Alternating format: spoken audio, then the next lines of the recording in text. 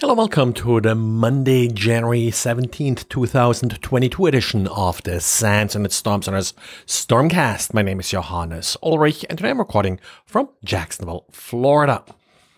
Friday got some little bit odd scans uh, from uh, researchers that apparently are looking for alternate data streams. At least that's sort of what the scans are looking like. Uh, the other thing they sort of share is that they're looking for index.jsp. So what you would see is index.jsp, then colon colon dollar data, which does match the format of the NT, NT file system alternate data streams not sure if it will actually work. I tried it against a quick Windows system I had set up uh, here.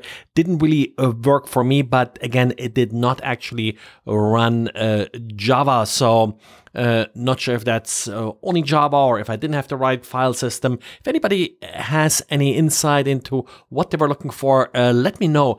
Also, later we got uh, some feedback that uh, other attackers are looking for similar patterns, not just against index.jsp. The intent here is likely according uh, to some of the FAQs from OWASP, for example, and their cheat sheets to bypass filters that essentially are trying to reach a certain file like index.jsp, but you're not trying to use that file name by appending colon colon dollar data. Functionally the same thing as looking at index.jsp, but uh, web application firewall or some other filter like this may get fooled into believing that you're actually looking for a different page. And after releasing its monthly updates last week, Microsoft, of course, experienced some problems, in particular with uh, Windows Server 2019 and uh, domain controllers, in particular uh, if uh, things were running on Hyper-V. Well, uh, initially, Microsoft stopped actually offering uh, these cumulative updates.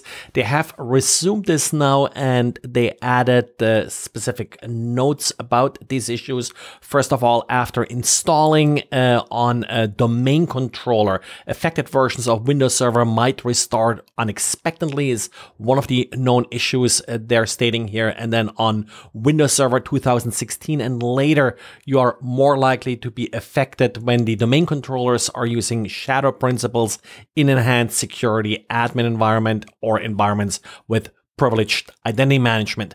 So uh, these are some of the conditions that you may want to be careful uh, with uh, these updates.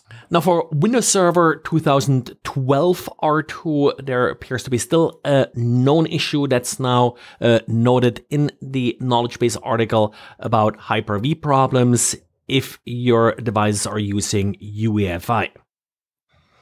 And a blog at Fingerprint.js is disclosing a new vulnerability in Safari affecting Safari 15 on Mac OS and all Safari versions on iOS and iPad OS 15. The problem here is that the name of IndexedDB databases is leaked cross origin.